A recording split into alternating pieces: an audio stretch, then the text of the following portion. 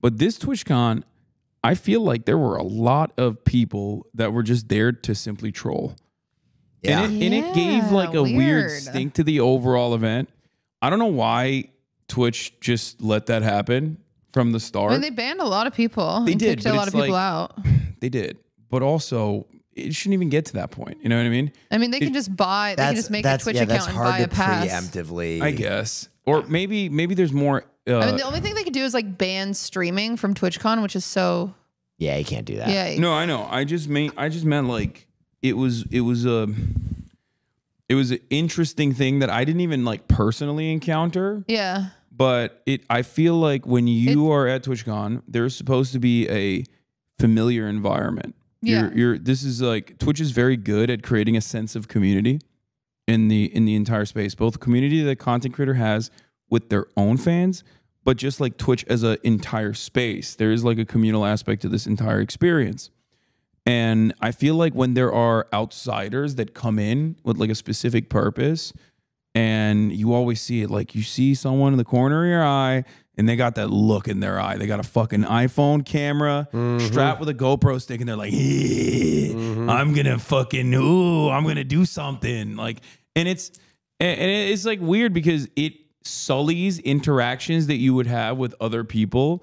And you're there to do that. You're there to interact with other people. You're there to interact with your community. You're there to interact with Twitch watchers in general. So then, like, I don't know. Uh, I don't know if this is the experience is universal for everyone, but like, I never want to feel like, oh, is this person a fan, or are they coming here to like fuck yeah, with me? Yeah. Because like when you start thinking that, and I'm fortunate enough to have like a shit ton of security, so it never bothers me at all. Like I don't have to think about it at all because I know nothing is going to happen.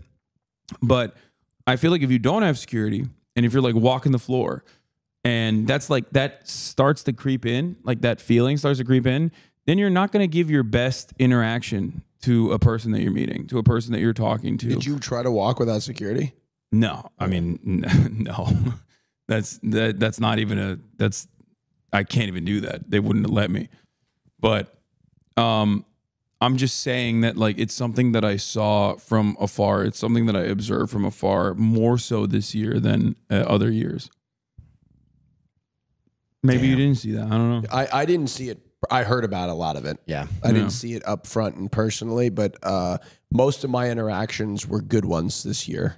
I think all of them, pretty much, with the exception. Same. Um, but obviously, I also I, I saw on Twitter there was a lot of Yeah. a lot of this. You weren't the only one. I saw a pretty big tweet of somebody echoing the same thing that you said.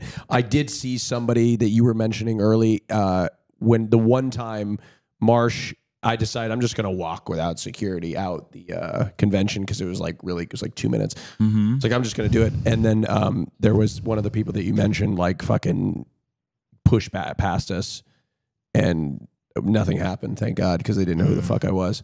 Um, but uh, yeah, Yeah, it's just like it's annoying. It Mm. lame. Like, do your own thing, dog. Go, you know, go fuck around somewhere else. I don't understand it. Like, I don't, uh, I, I don't understand why you like feel the need to infiltrate something like that.